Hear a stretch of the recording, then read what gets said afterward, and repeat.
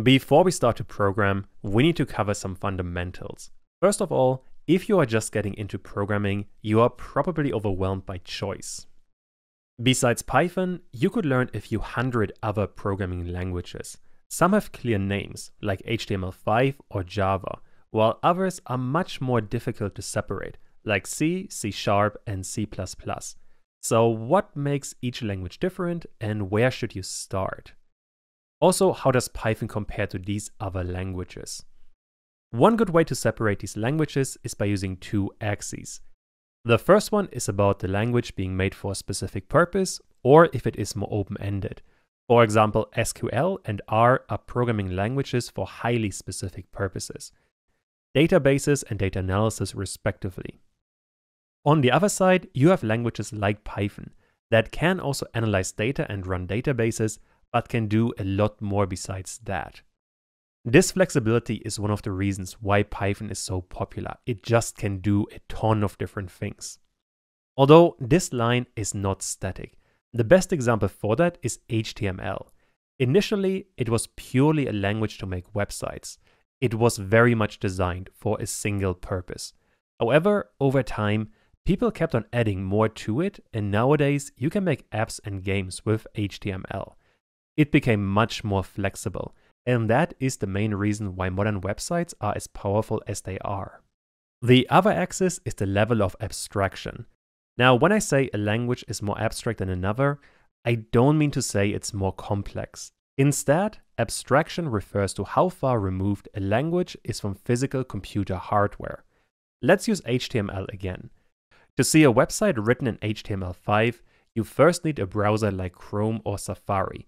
That browser in turn runs on an operating system, and only that operating system has access to actual physical computer hardware. There is a huge difference between the HTML code and the computer it runs on. That means HTML is a very abstract language.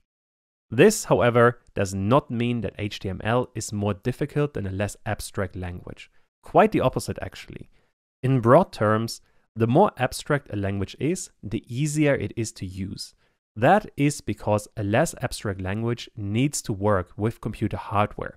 It needs to be very specific about memory management. You sometimes have to write for different kinds of computer hardware, and generally it is very easy to break things. Now, in this axis, Python, like HTML, is a very abstract language. In fact, Python itself was created using another programming languages. That one is called C. And this language is much less abstract. Generally, in the bottom right of this graph, you have all of the C languages, like C, C Sharp, and C++. You also have Java down there. The differences between them are mostly technical, and you don't really have to worry about them, at least for now. That being said, C Sharp was only created because Microsoft didn't want to pay license fees to the creators of Java. These two languages are very similar. So there can be a ton of overlap between these different languages. They are not entirely unique. Now, when you are just getting started, you want to begin in the top right of this graph with more abstract general purpose languages.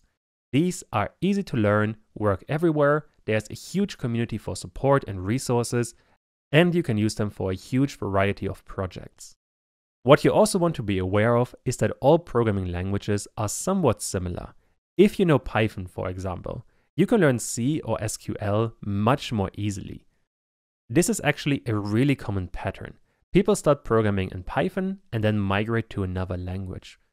Python was actually designed to be a tool to learn programming itself, and it just happened to expand over time to become a really popular language by itself.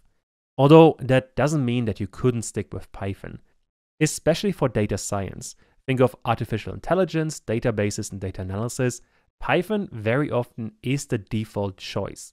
And these are fields where you can earn a lot of money. It is totally fine to stick with Python by itself entirely for your entire career. Lots of people do that. But generally, if you are not sure yet what language you want to go for, don't worry about it. What you're learning in Python can very easily be migrated to another language. What you want to do is just get started somewhere and work on projects you like and see how far you get. And if you feel like changing, you can totally do that and not start from scratch. a lot of things you are going to learn you can use in other languages as well. You are always going to make some progress even if you are switching.